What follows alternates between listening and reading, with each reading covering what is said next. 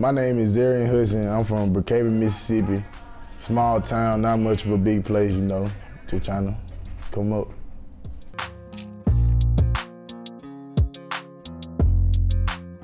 I would say I started playing football by second grade, flag football, I played little quarterback, little uh, offensive lineman, and tight end. As I got over the years, I just stuck at the offensive line, you know.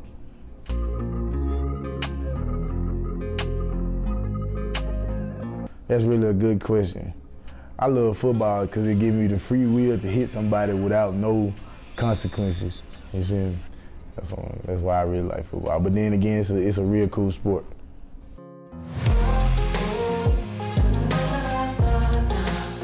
Coach McCray a real cool dude, man. Y'all, if you really get to meet him, one-on-one, y'all say the same thing. Really cool dude. He not too, how would you, how could I put this? He not too, he don't be on us like that, but he be on us. You feel me? He a real cool dude.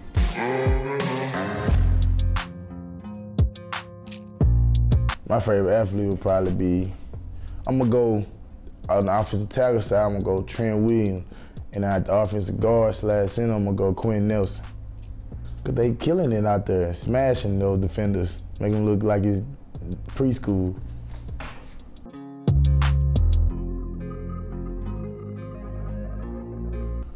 My favorite musical artist would be probably Rylo Rodriguez. He got a smooth music, um, he got a smooth music flow and he got a lot of good punchlines in his songs, so yeah.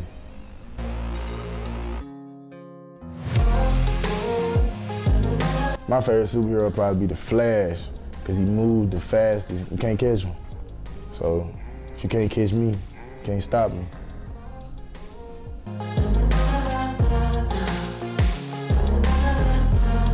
My favorite sports movie would be the movie Greater because it shows about the offensive lineman who went through the struggle as a walk-on and he made it to the big leagues.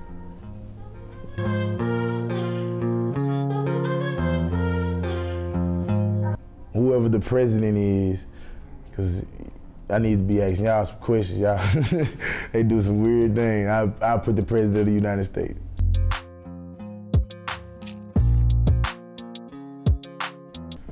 Something about me that nobody knows. I'm really a chill person, but don't push me.